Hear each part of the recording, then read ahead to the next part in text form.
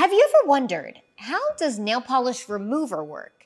Well, today we are learning about all of this and more with my disappearing act experiment. Hi, I'm Emily Calandrelli, MIT engineer and host of Emily's Wonder Lab, and on my channel we learn about all things space and science. So grab your styrofoam because things are about to disappear. Emily's Science Lab,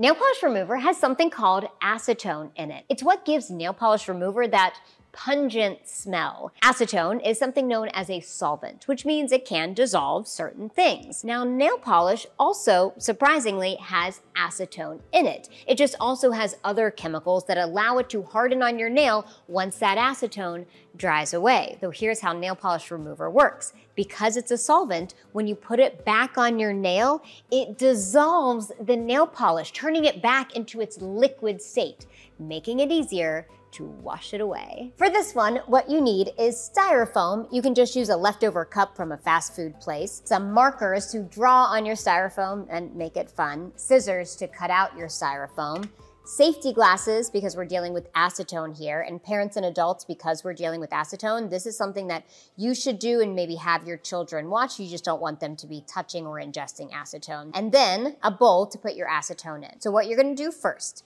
is pour your acetone into your bowl or glass. And a little bit goes a long way here. You'll see why. So now, take your styrofoam and just slowly submerge it into your acetone. Do you see her feet dissolving away? Acetone is a solvent and it is dissolving the styrofoam turning it into this little gooey mush. And it becomes so much smaller than it originally was because styrofoam is filled with tons of little pockets of air. And when you remove that air, all you have is that little gooey styrofoam left. Now we can say goodbye to our witch. Okay, now I have a little spooky ghost here. So now my spooky ghost is going to see the same fate. Bye, ghost.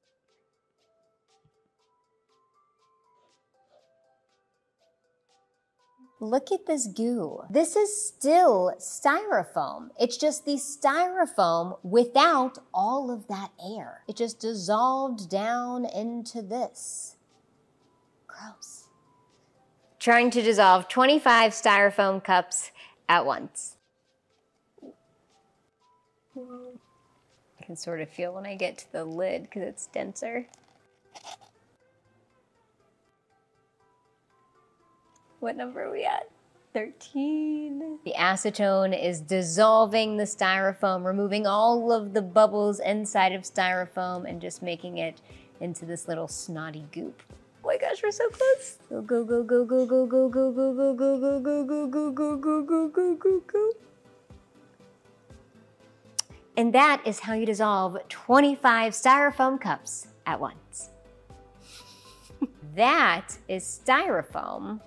without the air. It has this like shimmer to it. It's actually very beautiful.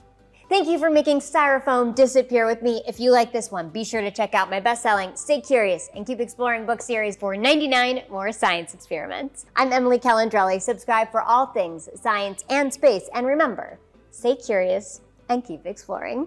I'll see you next time. Emily's Science Lab.